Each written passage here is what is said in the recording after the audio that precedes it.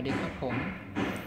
วันนี้ผมจะมาพามาดูมารู้จัก power supply นะครับ power supply นะครับ หรือเรารู้จักกันก็คือในนามของหม้อแปลงนะครับ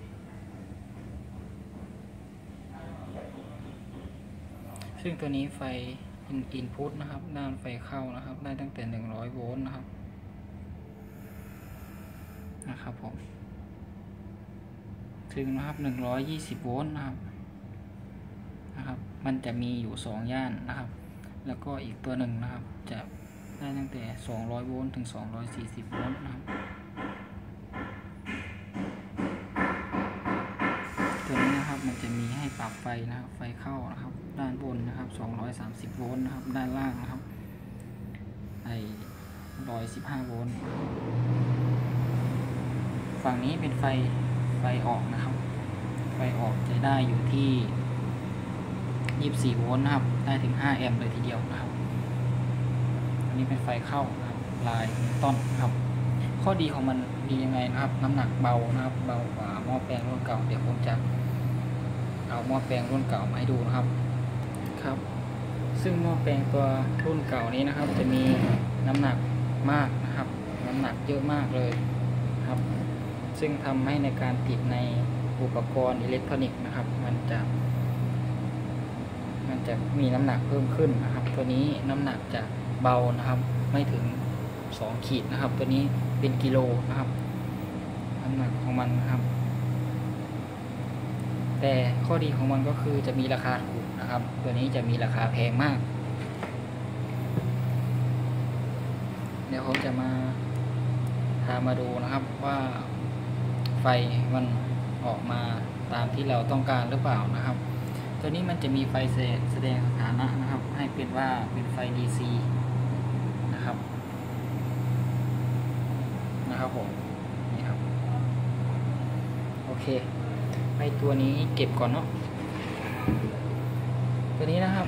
เดี๋ยวผมจะวัดไฟเข้าให้ดูนะครับ ไฟเข้านะครับ ตั้งไปที่ย่านกระแสสลับนะครับ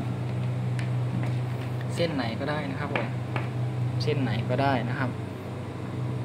จิ้มเข้าไปตรงที่ลายนิวตันอย่าไปจิ้มตรงกาวนะครับ ที่เห็นนี้ก็อีกเส้นหนึ่งก็คือกาวนะครับ ถ้าเกิดเราใช้งานเราควรที่จะต่อกาวไว้นะครับ ไฟเข้านะครับ 220 โวลต์นะครับ ถึงนะครับ 240 โวลต์ก็แสดงว่าอยู่ในย่านที่อุปกรณ์เรารับได้นะครับ โอเค ต่อมาเรามาดู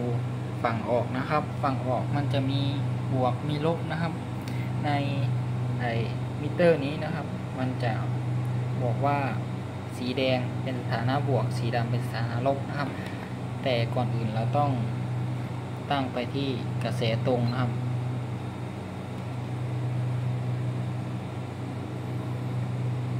ครับผม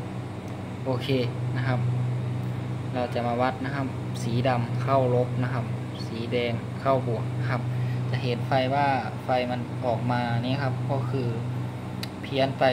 จุดหนึ่งนะครับ ซึ่งเป็นค่าที่สามารถรับได้นะครับนะครับ ตัวนี้ใช้งานกับ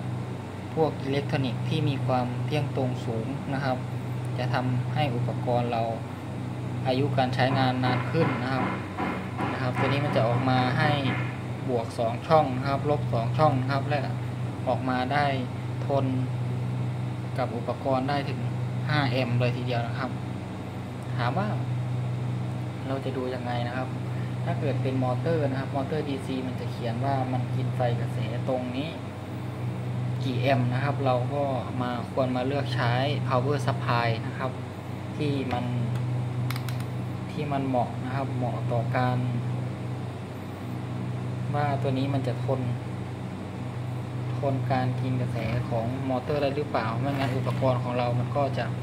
เกิดการพังชำรุดเสียหายได้นะครับ ส่วนเรื่องนั้นผมยังไม่พูดถึงนะครับ ตัวนี้ก็คือมารู้จักการใช้งานเบื้องต้นก่อนนะครับ ครับผมสำหรับวิดีโอนี้ผมก็เอาไว้แค่นี้ก่อนครับ ครั้งหน้ามีอะไร เดี๋ยวผมจะมาสอนมาบอกมาบอกเกี่ยวกับความรู้การใช้งานเครื่องใช้ไฟฟ้าอีกทีหนึ่งครับสำหรับวิดีโอนี้เอาไว้แค่นี้ก่อนครับ สวัสดีครับ